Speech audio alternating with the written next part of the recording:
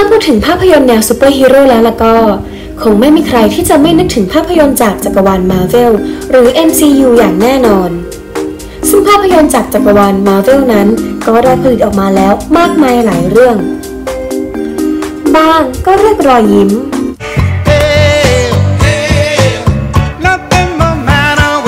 บ้างก็เรียกเสียงหัวเราะจากผู้ชม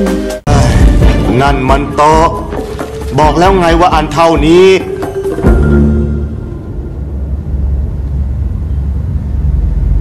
บ้างก็เรียกความมัน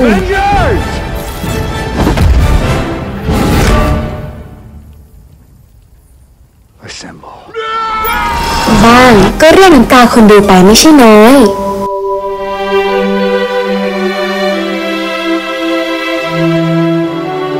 และแน่นอนว่าบางเรื่องก็เรียกรายได้จากคนดูมาอย่างถล่มทลาย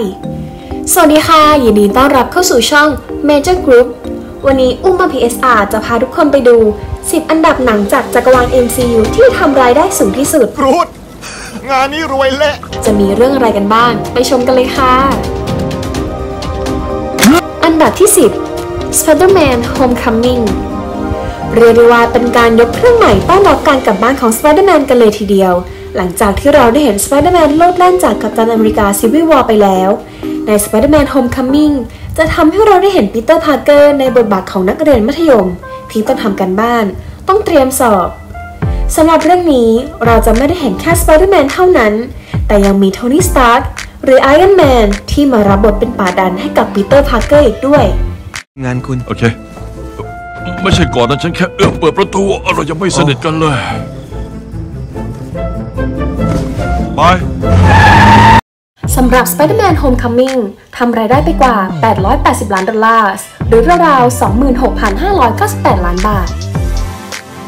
อันดับที่ 9 กัปตันมาเวลหนึ่งในวีรสตรีหญิงทรงพลังของจักรวาล MCU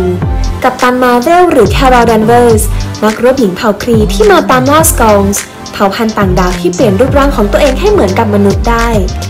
หนัง Captain Marvel มีความน่าสนใจตรงที่เหตุการณ์ต่างๆ จะเกิดขึ้นในยุค 90 ทำให้เราได้เห็นตัวละครอย่าง Phil Coulson และ Nick Fury กลับมาดูหนุ่มอีกครั้ง ที่สำคัญ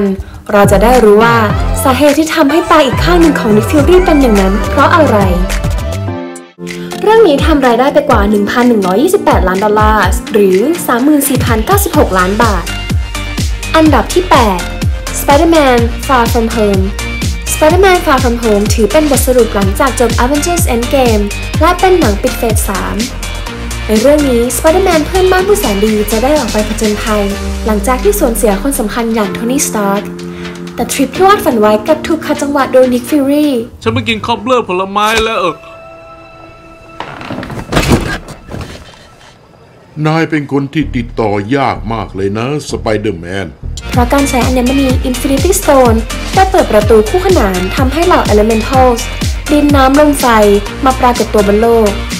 งานนี้ Spider-Man ได้ทำงานร่วมกับคู่หูใหม่อย่าง Mysterio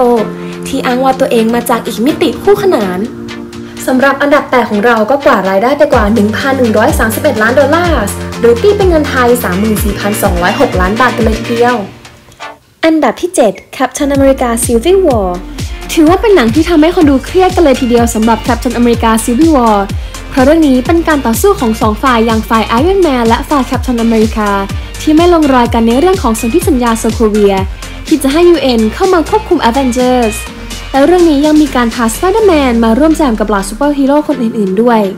นอกจากนี้ยังเป็นการเปิดตัว T'Challa หรือ Black Panther ที่มาตามล่าหาคนที่ฆ่าพ่อของเขานั่นเอง Captain America Civil War เรียกรายได้จากคนดูไปกว่า 1,153 ล้านดอลลาร์หรือ 34,852 ล้านบาท อันดับที่ 6 Iron Man 3 สำหรับหนัง Iron Man 3 เราจะได้เห็นศัตรูที่โหดร้าย ศัตรูที่แม้กระทั่งโทนี่สตาร์กเองยังไม่เคยเจอใครที่มีพลังแบบนี้มาก่อน ศัตรูคนนี้ได้ทำลายโลกส่วนตัวของโทนี่สตาร์ก ซึ่งเหตุการณ์ต่างๆ ส่งผลกระทบต่อจิตใจของโทนี่เป็นอย่างมาก จึงทำให้โทนี่สตาร์กต้องพยายามดึงตัวเองกลับมา เพื่อแก้ไขเหตุการณ์ในครั้งนี้สำหรับภาค 3 ของ Iron Man เรียกรายได้จากผู้ชมไปกว่า 1,214 ล้านดอลลาร์หรือตีเป็นเงินไทย 36,711 ล้านบาทอันดับที่ 5 Black Panther หลังจากที่เราได้เห็นการเปิดตัวของ Black Panther ไปแล้วใน Captain America Civil War ทีซาร่าหรือ Black Panther ได้กลับมาที่วากันดาประเทศของตน เพื่อกลับมาปกครองประเทศให้สงบสุข และต้องคอยขัดขวางศัตรูที่พยายามทำให้เกิดความขัดแย้งภายในประเทศ ซึ่งนั่นอาจจะเป็นสาเหตุของสงครามโลกครั้งใหม่ก็ได้สำหรับหนังอย่าง Black Panther กว่ารายได้จากคนดูไปกว่า 1,346 ล้านดอลลาร์หรือตีเป็นเงินไทย 4,703 ล้านบาท อันดับที่ 4 Avengers Age of Ultron ใน Avengers Age of Ultron นั้นโทนี่สตาร์กมีแผนที่จะปัดฝุ่นโครงการเก่าอีกครั้งเพื่อความสงบสุขของคนบนโลก แต่เรื่องดันกลับตาลปัตรเมื่อการปรากฏตัวของอัลตรอนนั้นกำลังจะสร้างหายนะให้กับโลกใบนี้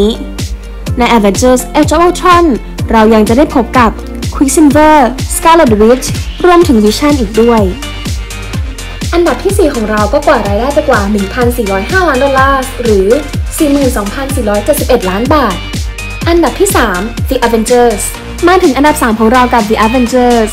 The Avengers ถือเป็นการรวมตัวซูเปอร์ฮีโร่มาเวลเรื่องแรก ที่ซูเปอร์ฮีโร่อย่าง Iron Man The Incredible Hulk Thor Captain America Hawkeye และ Black Widow ต้องช่วยกันจัดการกับพายนะที่เกิดขึ้นบนโลก และแน่นอนว่าพอพูดถึง The Avengers แล้วหลายๆคนคงจะนึกถึงฉากที่ฮักทักทายโลกิอย่างเป็นมิตรยอมถูกซ้อมโดยเดรัส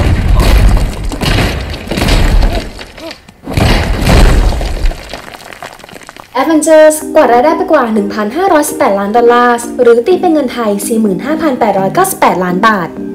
อันดับที่ 2 Avengers Infinity War สำหรับ Avengers Infinity War เป็นหนังที่รวมซูเปอร์ฮีโร่ไว้เยอะที่สุดเรื่องหนึ่งก็ว่าได้ ในหนังเรื่องนี้เหล่าซูเปอร์ฮีโร่ทั้งหลาย ต้องร่วมมือกันขัดขวางธานอสในการรวบรวมอัญมณี Infinity Stone ทั้ง 6 ก้อน เพื่อที่จะล้างสิ่งมีชีวิตครึ่งจักรวาล เพื่อความสมดุลทางธรรมชาติ สำหรับเรื่องนี้ทำรายได้ไปกว่า 2,048 ล้านดอลลาร์ หรือ 61,901 ล้านบาท อันดับที่ 1 Avengers Endgame มาถึงอันดับหนึ่งของเรากับ Avengers Endgame หลังจากที่ซานอสได้ดีดนิ้วล้างสิ่งมีชีวิตไปครึ่งจักรวาลกลุ่ม The Avengers ที่เหลืออยู่ก็กลับมารวมตัวกันอีกครั้ง เพื่อที่จะแก้ไขสิ่งที่ซานอสได้ทำเอาไว้ Avengers Endgame เรียกได้ว่าเป็นหนังที่หลายๆ คนต่างรอคอย และแน่นอนว่าเป็นหนังที่เรียกน้ำตาจากคนดูไปไม่ใช่น้อย นอกจาก Avengers Endgame จะเป็นหนังจักรวาล MCU ที่ทำรายได้สูงที่สุดแล้ว Avengers Endgame ยังเป็นหนังที่ทำรายได้สูงที่สุดในโลก ซึ่งแซงหนังที่ทำรายได้สูงที่สุดในโลกอย่าง Avatar ไปเป็นที่เรียบร้อย หนังที่ทำรายได้สูงที่สุดในโลกอย่าง Avengers Endgame กว่ารายได้จากผู้ชมไปกว่า 2,797 ล้านดอลลาร์ หรือตีเป็นเงินไทย 84,549 ล้านบาท ในอนาคตเมื่อ MCU ปล่อยหนังเฟส 4 ออกมาไม่ว่าจะเป็นเรื่อง The Eternals Black Widow หรือเรื่องอื่นๆ เราคงจะต้องมาลุ้นกันต่อไปแล้วล่ะค่ะ ว่าจะมีหนังเรื่องไหนที่สามารถมาทำลายสถิติอันดับหนึ่งอย่าง Avengers Endgame ไปได้ ยังไงก็อย่าลืมติดตามชมกันต่อไปด้วยนะคะ ก่อนจากกันวันนี้ อย่าลืมกดไลค์และกด subscribe ช่อง Major Group เพื่อที่คุณจะไม่พลาดข่าวสารเกี่ยวกับวงการภาพยนตร์สำหรับวันนี้ อุ้มอ PSR ขอลาไปก่อน แล้วเจอกันใหม่นะคะ สวัสดีค่ะ